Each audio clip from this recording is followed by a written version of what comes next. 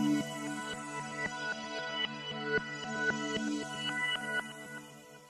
Chebské muzeum se po tříměsíční uzavírce otevře velikonočním jarmarkem. Od začátku ledna do 7. dubna zde totiž probíhala rekonstrukce a modernizace kamerového systému. Široké veřejnosti se dveře muzea otevřou po této pauze v sobotu 8. dubna v rámci tradičního velikonočního jarmarku. Návštěvníci se mohou těšit na zhruba 45 různých zastávek, kde se kromě prodejců představí také tradiční řemesla. Opět se zaměříme na eh, velikonoční kraslice, takže ve všech možných podobách, tak jak je známe, šikovné ruce eh, chebských, eh, musím říct většinou dam, nám tu budou předvádět vajíčka s batikou voskovou, což je nejtradičnější způsob zdobení kraslic ve střední Evropě. Potom takzvaná vajíčka zdobená eh, krajkou Richelieu, to je vlastně eh, novodobá výzdobná technika, která kombinuje eh, plastickou voskovou batiku a vybrušování vzoru eh, do skořápky eh, vajíčka, což připomíná potom v závěru skutečně klasickou krajku Richelieu.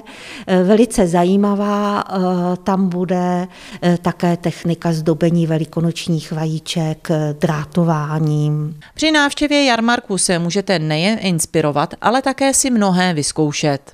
Jako každý rok přijedou děti ze základní školy v Lubech, což jsou naši milí hosté, my je tady vždycky velice rádi.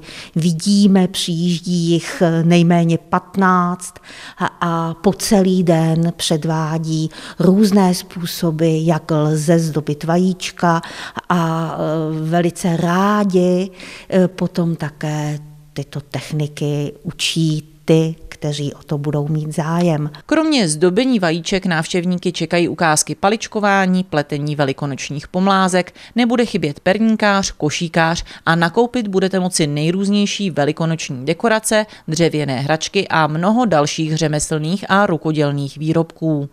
Připraveno je povídání o velikonocích, sladké pečení, ale také vystoupení dětí z chebských škol a školek, základní umělecké školy a pohádka v podání divadla Kapsa z Andělské hory. Velikonoční jarmark však není jediným lákadlem k návštěvě Chebského muzea. Od soboty zde můžete opět vidět výstavu Krása času, hodiny ze sbírky muzea, která začala už na podzim. Výstavu tedy od 8. Eh, eh, dubna znovu otevřeme veřejnosti. Eh, je to taková přehlídka toho, co máme uchováno v depozitáři hodin. Všechny předměty, které tu budou vystaveny, tak pocházejí z našich sbírek.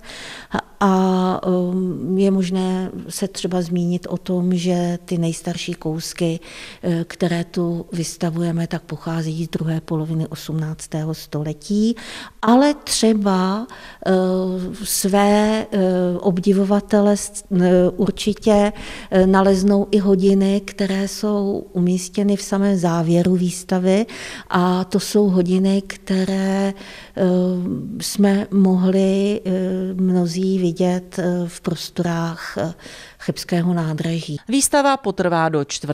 června.